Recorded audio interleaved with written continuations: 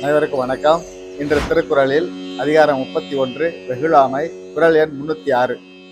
சினமென்னும் சேர்ந்தாரை கொல்லி இனமென்னும் ஏமப்புனையை சுடும். இதுதான் குரல்.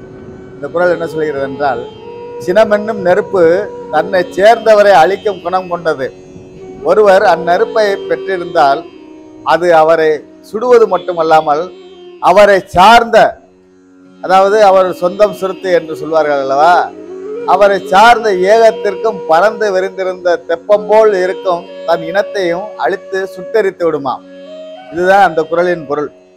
அதாவது புனை என்பது தெப்பம். அதாவது தெப்பக்குளம் என்று நம்ம கேள்விப்பட்டிருக்கோம். அதாவது நீண்டு அகண்டு விரிந்து பறந்து இருக்கும் நீர்நிலை தான் தெப்பம் என்பது. தெப்பத்தை எதற்காக ஊமையாக கூறுகிறார்கள் என்றால் நெருப்பை நீர் அணைப்பதுதான் வழக்கம். சில நேரத்தில் நெருப்பை அணைத்த நீரும் மறைந்துவிடும். இந்த கோபம் என்னும் சிறு பொறியான நெருப்பு கோபப்பட்டவரை அழிப்பதோடு மட்டுமல்லாமல் தெப்பம் போல இருக்கும் அவரது இனத்தையும் சுட்டழித்து தொடர்ந்து அணையாமல் அது இருக்குமாம். ஒரு தலைவன் கோபப்பட்டால் ஏமப்புனை போல் அதாவது நீர் நிறைந்த தெப்பம் போல இருக்கும் அவரது தொண்டர்கள் கூட்டமும் பாதிக்கப்படும்.